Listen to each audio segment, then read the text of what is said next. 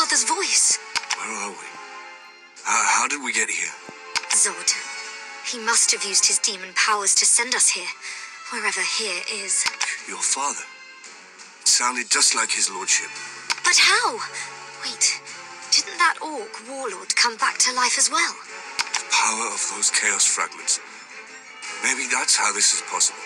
But that means we have to get back.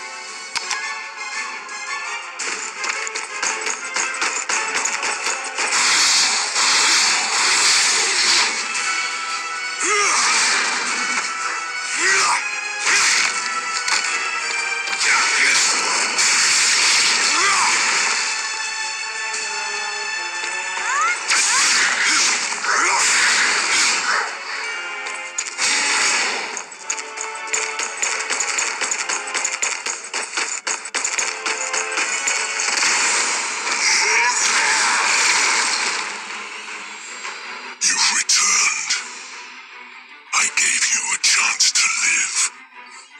Never say demon lords aren't merciful. Zod! What did you do to my father? Ah, The noble lord of Iron Guard.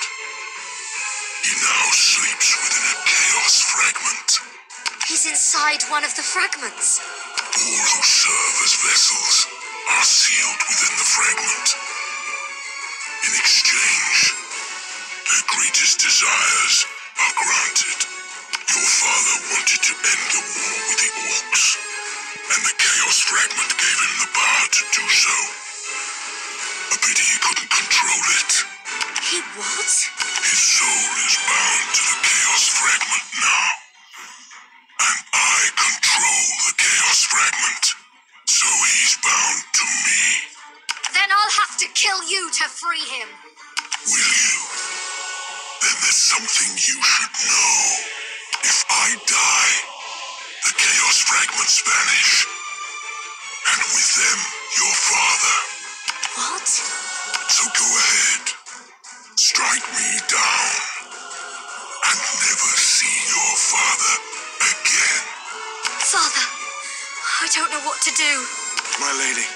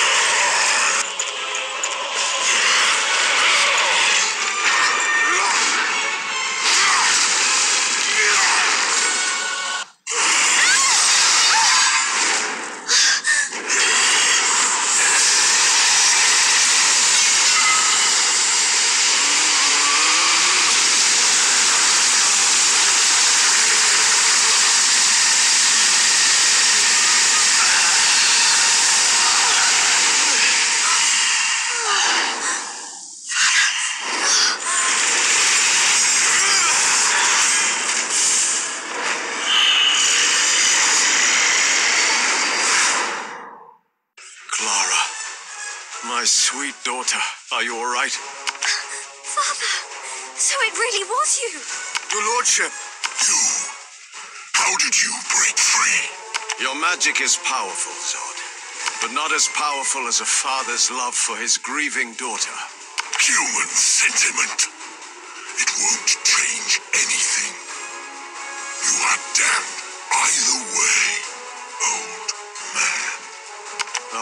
made my peace with that. So long as I can take you with me. Father, no! Clara, I'm afraid my time in the world of the living is over. But I'm grateful for the chance to say goodbye. Iron Guard is yours now, daughter. I know you are ready. Now, demon, shall we get this over with? You would sacrifice yourself these humans. However much power I have lost, I am still